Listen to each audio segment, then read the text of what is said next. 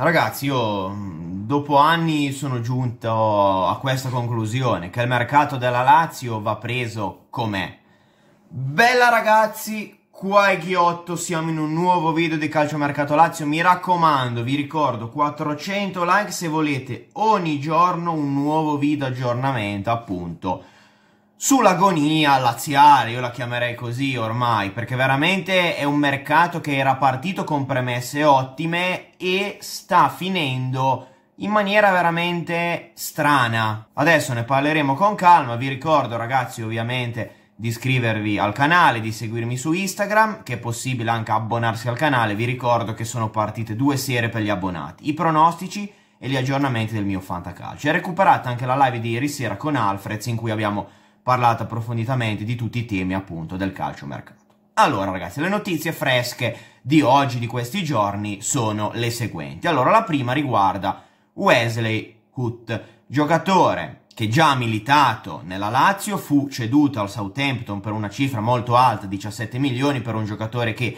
alla Lazio non ha mai brillato particolarmente. Mi ricordo che negli ultimi mesi della sua esperienza laziale stava cominciando a ingranare, un giocatore che era stato venduto a una cifra alta ma era ancora giovane. Adesso ha 26 anni, quindi comunque è diciamo nel pieno della sua carriera, anche se viene da un paio d'anni sicuramente in cui ha giocato poco e non ha mostrato tutte le sue qualità, perché io comunque su Ott riconosco che è un giocatore interessante. La situazione, la Lazio ha messo gli occhi su Wesley Hood che è un difensore mancino, ricordiamo, però un giocatore lento, quindi nella difesa 3 secondo me andrebbe a ricoprire il ruolo di vice Acerbi, a meno che non si decida di spostare Acerbi a sinistra e giocare con Utta al centro, ma ipotesi che io comunque escluderei, o meglio, in alcune partite Acerbi lo può fare, il, diciamo l'esterno, tra virgolette, a sinistra, già l'ha fatto, ma difficilmente sarà un'opposizione occupata stabilmente da, dal Leone. In questo momento il titolare a sinistra ce l'abbiamo, che è Stefan Radu, è 20 anni tra un po' che giochiamo con Radu, da quando sono piccino che ho iniziato a fare Lazio, c'è Stefan Radu e non molla mai, quindi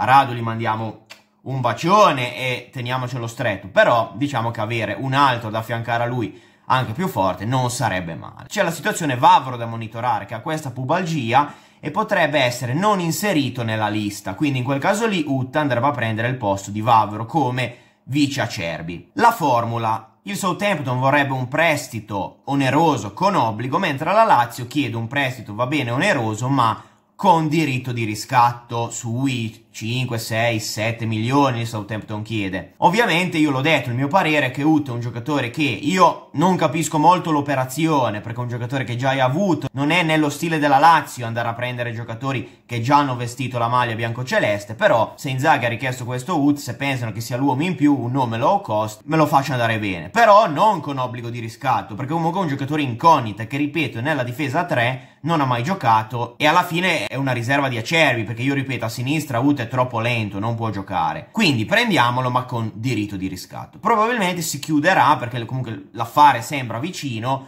con un prestito oneroso con obbligo di riscatto a determinate condizioni. La condizione potrebbe essere che la Lazio si riqualifichi per la Champions. Quindi mi viene da dire, se arriviamo quarti vuol dire che Utta ha fatto bene, no? Di conseguenza in teoria dovrebbe essere così, e allora ci sta che tu lo riscatti. E vabbè, mi potrebbe anche andare bene, mettiamolo così. Però, ripeto, è operazione che non mi esalta assolutamente. Ditemi ovviamente la vostra nei commenti. Però, ragazzi, a me l'operazione che più mi lascia perplesso riguarda Jose Maria Calleon.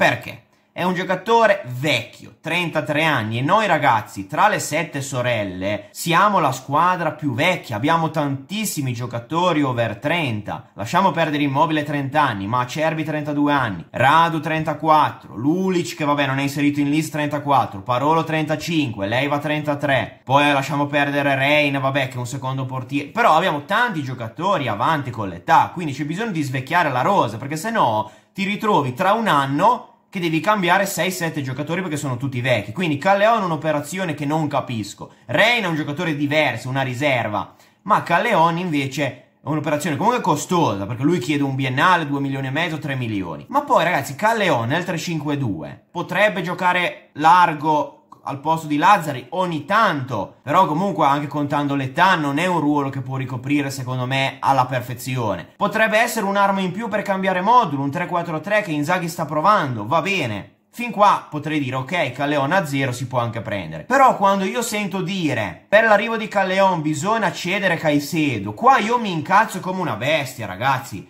Perché cosa facciamo? Perdiamo un attaccante, un usato sicuro, uno che ti può garantire gol, ti può fare la prima punta, la seconda punta, poi Caicedo lo conosciamo tutti, abbiamo imparato ad apprezzarlo e prendiamo Calleon. Quindi ci ritroveremo con Correa, immobile con Murici che è fermo, causa Covid, si dovrà poi integrare con la squadra, quindi Murici tenete conto che per un mese non ce l'abbiamo. Io spero di rivederlo dopo la sosta, adesso abbiamo tre partite, sicuramente Murici non ci sarà, Speriamo, incrociamo le dita di rivederlo dopo la sosta, ma non è detto, perché vediamo come si evolve la situazione. Poi ripeto, il giocatore è nuovo, si dovrà integrare, sarà indietro anche con la preparazione, giocatore anche pesante, quindi non è come laser che in un attimo è pronto, ci vorrà un po' di più per ingranare. Quindi rischi di ritrovarti con solo due attaccanti. Calleon che nel 3-5-2 l'unica posizione in cui può giocare è largo a destra, non può giocare nei due attaccanti là davanti, Calleon non è il vice Correa. Non mettetevi in testa che Calleon è un vice Correa, eh, perché Calleon è un giocatore totalmente diverso da Correa, uno che deve giocare sull'esterno, perché la caratteristica principale di Calleon non è la tecnica, è la velocità, le doti di inserimento, il sacrificio. Quindi l'operazione Calleon in, Caicedo out, ragazzi, è un'operazione folle, folle, non ha veramente senso. Se prendi Calleon, allora deve essere un giocatore in più, che tu dici una soluzione tattica in più, va bene, Chine me lo rimandi a Salerno, me lo rimandi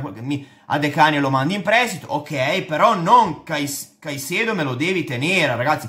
Occhio a non fare cazzate, piuttosto rimaniamo così teniamoci Caicedo che è un usato sicuro, anche perché Caicedo in questo mese qui serve come il pane, perché ripeto, Murici non ce l'hai. Poi magari mi potete dire l'attacco Murici, Caicedo, Correa, Immobile non è assortito benissimo, perché non hai, diciamo, un giocatore simile a Correa, hai due giocatori alla fine hai diciamo tre prime punte se andiamo a vedere Caicedo, Murici, Immobile anche se sappiamo che Murici e Caicedo sono dei giocatori che gli piace svariare sul fronte d'attacco quindi sarebbe meglio avere Murici, Immobile, Correa e magari una seconda punta tipo Keita mi viene in mente, che è andata alla Sampa, io un pochino rosico, vi dico la verità, perché tra tutti i ritorni che sono possibili avrei evitato quello di Ut, che gli mando un bacio, gli voglio bene, ma avrei preso Keita Balde. Quindi diciamo che Ut me lo faccio anche passare, ma l'operazione che mi dicono che Caicedo out, Caleon in, assolutamente non la provo, perché ricordiamoci che la Lazio deve vendere per comprare, quindi anche Ut arriverà se Bastos verrà venduto, che anche qua ieri non si è allenato, è tre mesi che deve andare via, ancora non riusciamo a cedere Bastos con, a 2 milioni, cazzo. Cioè la Lazio sulle cessioni sta facendo veramente una fatica immane, peggio che negli acquisti, che già negli acquisti ci fa veramente smadonnare, ma nelle cessioni ancora peggio. Quindi ragazzi io sono veramente perplesso, esasperato, non vedo l'ora inizi il calcio, il calcio giocato, sabato almeno, boh, ci concentriamo sul calcio sperando di non sclerare, di di non dover fare già sfoghi e almeno ci distacchiamo un po' da calciomercato che veramente era iniziato bene, no? Vi ricordate? Era uscito il nome di Silva, era uscito il nome di Kumbulla, a giugno già il nome di Kumbulla che sembrava fatta. Escalante l'avevamo già preso, Fares e Murici sembravano già presi, poi ci abbiamo messo un mese. Lasciamo perdere, ecco. Ragazzi, io vi invito a mettere un like, a condividere il video, mi raccomando, commentate con la vostra opinione, ovviamente. E ragazzi, fatemi un piacere, anche seguitemi su Instagram, eh, che dobbiamo crescere anche lì, quindi primo link in descrizione, dai, ci vediamo più tardi perché vedete che sto portando un video verso le 14 e un video più tardi, alle 18, perché ho visto che vanno bene, vi stanno piacendo, quindi se ci sono notizie anche di calciomercato di altre squadre vi farò un video più tardi. Se no, per oggi niente, ci vediamo poi domani con nuovi contenuti. Ok? Ciao ragazzi, bello.